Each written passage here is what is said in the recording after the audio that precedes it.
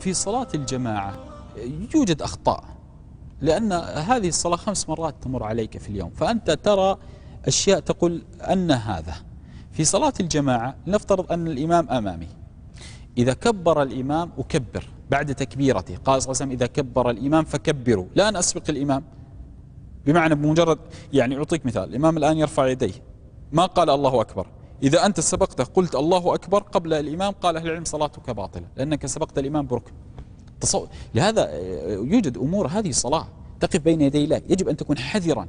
لهذا ترفع الصلاة نصفها وسدسها وربعها وأناس لا ترفع لهم الصلاة قط. الآن أنا مع الإمام كبر الإمام مكبر قرأ الإمام فاتحة. أنا ألزم الصمت أستمع. أستمع. لا أقرأ مع الإمام. فجاء نهي من رسول الله صلى الله عليه وسلم أن يقرأ الرجل مع الإمام. بعض الناس مثلا يصلي مع الإمام. يعني مشكلة لهذا صراحة مشكلة بعض المصلين إذا قرأ الإمام صلاة آية أو سورة هو يحفظها. يصبح يقرأ مع الإمام. لهذا أحيانا الأئمة تأتي بسورة المائدة بالنساء بآل عمران حتى لا يقرأ معهم بعض المصلين. هذا يشكل على الإمام ويثقل على الإمام وفيه نهي وفيه نهي. إذا قرأ الإمام الفاتحة قال ولا الضالين على المأموم أن يقول آمين. آمين. يمدها. علم؟ الآن يقول آمين ويصمت. لا آمين رب اغفر لي ولوالدي وارحمني. هذا ما ورد عن رسول الله. كان الصحابة إذا قال النبي صلى الله عليه وسلم ولا الضالين كان الصحابة آمين يقولون فقط. آمين. لا زيادة ولا نقصان. لا زيادة ولا نقصان. قالوا آمين. الآن الإمام سكت. هنا آتي بالفاتحة. يعني بمعنى أقرأ الفاتحة. الحمد لله رب العالمين الرحمن الرحيم مالك يوم الدين. أقرأها. في الصلاة الجهرية لو لم يقرأ المأموم الفاتحة فإن قراءة الإمام له قراءة. قال عليه الصلاة والسلام قراءة الإمام لكم قراءة. في الصلاة الجهرية. بمعنى صلاة المغرب عشاء فجر. لو أنا وقفت خلف الإمام ما قرأت الفاتحة لا شيء علي لأن الإمام يقرأ عني. في الصلاة السرية اقرأ. في الصلاة السرية اقرأ. هذا التفصيل الناس للأسف بعض الناس لا تعرفه. بعض الناس لا تعرف. فيأتي بعض الناس في صلاة المغرب يعاتب الإمام. أنت ما سكت بعد الفاتحة كثيرا. ما استطعت أن أكمل الفاتحة. النبي صلى الله عليه وسلم يقول قراءة الإمام لك قراءة. فأقرأ الفاتحة إذا قرأت عنك. قرأ سورة قصيرة إذا قرأت عنك. هذا في الصلاة الجهرية. في السرية لا اقرأ عن نفسك. اقرأ عن نفسك. قرأ الإمام سبحان مثلا الفاتحة وأتى بسورة قصيرة. الآن الإمام انظر. هنا الشاهد. الإمام الآن أراد أن يركع. قال الله أكبر وركع. بعض الناس تسبق الإمام. الصحابة قالوا كما في الحديث كنا لا نهوى لا نهوي للسجود ها حتى يهوي رسول الله صلى الله عليه وسلم. أو حتى يسجد رسول الله رسول الله صلى الله عليه وسلم. انظر. حتى يسجد رسول الله صلى الله عليه وسلم كنا نسجد. يعني بمعنى لو قال الإمام الله أكبر وما زال قائما يجب أن لا تسبق الإمام لأن هذه أركان صلاة الركوع. والسجود أيضا لا تسبق الإمام حتى تراه سجد أمامك. لهذا من من حكمة الإمام أنه لا يتلفظ بالتكبير إلا إذا اقترب من السجود. لأن بعض الناس تسابق الإمام. بمعنى أنا الآن أريد أن أركع فأقول الله أكبر. انظر متى, متى قلت الله أكبر. أعيد. الله أكبر. هنا يتبعني من؟ المأموم. حتى ما يسبقني. حتى لأن إذا سبقني المأموم مشكلة. بعض أهل العلم قالوا سباق إذا سبق المأموم الإمام لا صلاة له. لأنه ما جعل الإمام إلا ليؤتم به كما قال عليه الصلاة والسلام. إذا حينما أقول الله أكبر هنا وأكبر تكبيرة الإحرام الإمام ولا الضالين أقول آمين وأصمت. ثم بعد ذلك تكبيرة عند الركوع الله أكبر. حينما أسمع الله أكبر ولو كنت في الصفوف المتأخرة عند الله أكبر أركع. قال الإمام سمع الله لمن حمد أقول ربنا ولك الحمد. الآن الإمام حينما يهوى للسجود ليس بمجرد الإمام أن يتحرك هكذا أن تسبق الإمام. هذه مشكلة. يجب حينما يطمئن الإمام هكذا الله أكبر. ثم بعد ذلك أنا أسجد. لأن الصحابة قالوا كنا لا نسجد حتى يسجد رسول رسول الله صلى الله عليه وآله وسلم. هذه الحكمة. إذا ماذا؟ آه، إذا أن لا أسبق الإمام. أهم شيء عدم أن الرجل أن يسبق الإمام. عندنا أيضا مشكلة. من أخطاء المصلين تجد بين الرجل ورجل رجل متسع لرجل الأصل أن تسد الفرجة. هذه تسوية الصفوف من مهنة الإمام. لهذا وجود الصفوف في في المسجد هذا ما ورد عن رسول الله لكن لماذا وضعت؟ لأن الإمام تكاسل عن وظيفته في تسوية الصفوف. عمر رضي الله تعالى عنه وأرضاه كان ها اسمع كان عمر رضي الله تعالى عنه وأرضاه لا يقيم الصلاة ولا يكبر حتى يسوي كل الصفوف. يوم قتل كما جاء في الحديث كان عمر لا يصلي فينا حتى يسوي الصفوف. فوجود هذه الخطوط إنما هو من تكاسل الإمام. الإمام يجب أن يقف في أول الصف ينظر إلى صدور الرجال متساوي أم لا ينظر إلى عقاب الرجال. لأن النبي صلى الله عليه وسلم هددنا في حديث لتسون الصفوف أو لا يخالفن الله بين قلوبكم وجاء رواية وجوهكم. فمشكلة. إذا الإمام ما سعى لتسوية الصفوف فاعلم أن هناك خلل. فإذا تسوية الصفوف تكون من العقب إلى العقب. من العقب إلى لا من رؤوس الأقدام ولا من البطون إنما من الصدر والكتف والعقب هذا. والعقب هذا يكون ماذا؟ تسوية الصفوف وتلتصق الصفوف هكذا. هذه من وظائف الإمام التي يجب أن يعتني بها الإمام عناية تامة. الآن الناس خلف الإمام خلف الإمام. بعض الناس مثلا استوى الصف اكتمل من أوله إلى آخره فجاء رجل جاء رجل عندنا هذه منتشرة تراها يعني صباحا مساء تجد أنه يضرب رجل يريد أن يسحبه من الصف حتى يأتي للصف الثاني هذا نراه كل يوم نراه أعيد الصف مكتمل من الألف للياء جاء رجل متأخر ما وجد له مساحة في الصف الأول نظر هنا مكتمل ونظر هناك مكتمل. ما يوجد له مساحة ماذا يصنع؟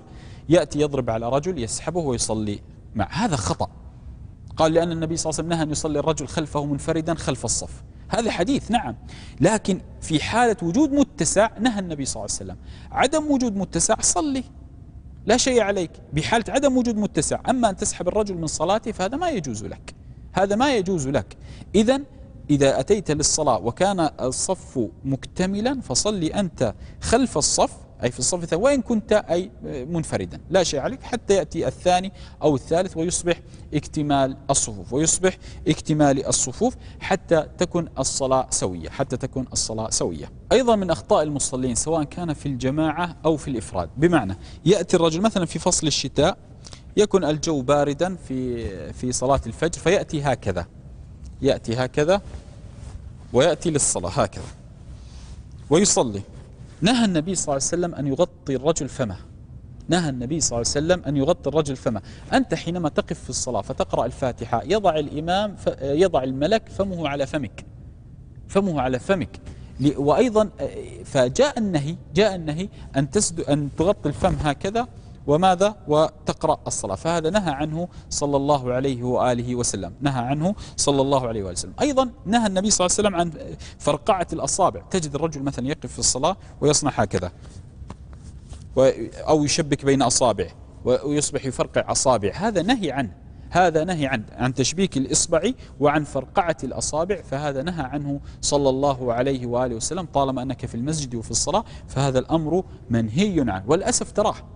وأيضا حين الصلاة يعني إبراهيم بن أدهم رحمه الله رأى رجل يصلي ويلعب في لحيته هكذا هكذا. أو وهذا وارد بل بعض الناس الآن يرى ساعته في الصلاة. إبراهيم بن أدهم يقول لو خشع قلبه لخشعت جوارحه.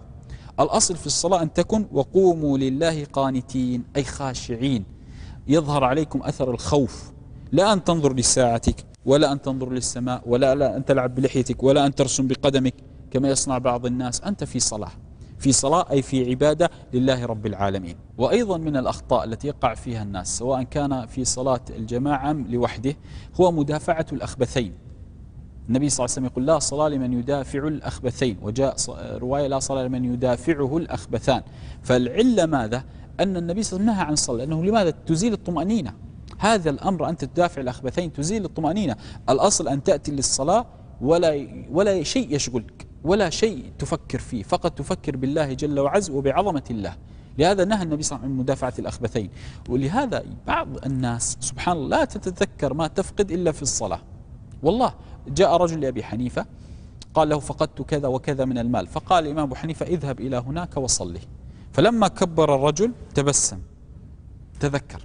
هذه وظيفة الشيطان. يأتيك في الصلاة يذكرك بكل مفقود في الصلاة. فأنت الآن في الصلاة الجسد لا تدافع به الأخبثين كامل لا تشغل نفسك لا تفكر بشيء فقط تفكر بعظمة الله جل وعز شانه تفكر بعظمة الله جل وعز شانه. أيضا مسألة مواطن الدعاء. الركوع جعل لتبجيل الرب وتعظيم الرب. حينما أنت تركع تقول سبحان ربي العظيم جعل سبوح قدوس رب الملائكة والروح أنت تعظم الرب. لا مناط دعاء في الركوع. أين مناط الدعاء في الركوع؟ مناط الدعاء في الصلاة بشكل عام عند السجود أولا عند السجود حينما تسجد أقرب ما يكون العبد لربه وهو ساجد هذا المناط الأول وموطن الأول من مواطن الدعاء. الموطن الثاني هو عند التشهد. بمعنى ليس التشهد الأول التشهد الأخير. حينما تقول إنك حميد مجيد تقول اللهم أني أعوذ بك من عذاب جهنم وعذاب القبر وفتنة المحيا وفتنة الممات وفتنة المسيح الدجال. قال عليه الصلاة والسلام ثم ليختر من الدعاء ما يشاء. بمعنى هذا موطن دعاء.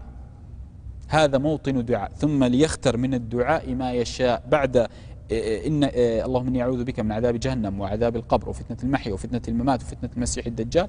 قال عليه الصلاة والسلام ثم ليختر من الدعاء ما يشاء. فهذا موطن إجابة. أما الدعاء في الركوع فهذا ما ورد عن رسول الله صلى الله عليه وآله وسلم. فأنت حينما تكبر بعد النية تأتي بدعاء الاستفتاح ثم تأتي بالفاتحة ثم آمين من غير زيادة ولا نقصان ثم بسورة قصيرة انتهى. ثم الركوع لا دعاء ثم ربنا ولك الحمد أو اللهم ربنا ولك الحمد أو اللهم ربنا ولك أو اللهم وربنا لك الحمد علم. ثم بعد ذلك تأتي للسجود. هذا هو أقرب ما يكون العبد لربه وهو ساجد الآن بعد الانتهاء سواء كان جماعة أم منفردا يسلم الرجل. سبحان السلام عليكم ورحمة الله. السلام عليكم ورحمة الله. الآن سلم. الأصل التسبيح. سبحان الله ثلاثا وثلاثين الحمد لله ثلاث وثلاثين والله أكبر ثلاث وثلاثين في تمامية لا إله إلا الله وحده لا شريك له له الملك وله الحمد وهو على كل شيء قدير. هذا الأصل تغفر لك ذنوبك ولو كانت مثل زبد البحر. هذا هو ماذا؟ الأصل. الآن بعد هذا الكلام تقرأ آية الكرسي. علم؟ من قرأ آية الكرسي بعد كل صلاة لا يمنعه من دخول الجنة إلا الموت. بمعنى أنت بينك وبين دخول الجنة فقط أن تموت. إذا أنت حافظت على آية على آية الكرسي بعد كل صلاة. الآن حينما تنتهي من الصلاة بعض الناس أول ما ينتهي سواء آه، إذا كان مأموما السلام عليكم. السلام عليكم يسلم. السلام عليكم كيف الحال؟ ثم يأتي الأخ السلام عليكم. انشغل في الطاعة. انشغل في الطاعة. هذا هو هذه سنة النبي صلى الله عليه وآله وسلم. وأيضا يوجد خطأ للأسف. آه، ربما هذا تقصير من الإمام وجهل من المأموم. تقصير من الإمام وجهل من المأموم. الأصل في, الإنسان في الإمام بمجرد أن يسلم أن يلتفت هكذا للمصلين. هذا هو الأصل. أنا كإمام أنهيت الصلاة ألتفت مباشرة للمصلين. لهذا لا لا يصح أو ليس من كمال الأدب في الشرع أن يقوم المأموم قبل الإمام أن يلتفت إليه. فيجب أن يلتفت الإمام ثم يقوم المأموم من أراد أن ينصرف. من أراد أن ينصرف. وهذا لا شك أنه ربما تقصير من الإمام مع جهل للمأموم في هذه الأحكام. هذه أحكام الصلاة بالأخطاء التي وردت والتي منتشرة ليس على وجه التفصيل. فهذا ليس مناط درس, درس فقهي وإنما هو مناط على الأخطاء الشائعة بين الناس. أسأل الله عز وجل. لا تنسوا الإعجاب بالفيديو والاشتراك في القناة. تشجيعا لنا لنستمر بنشر المزيد إن شاء الله.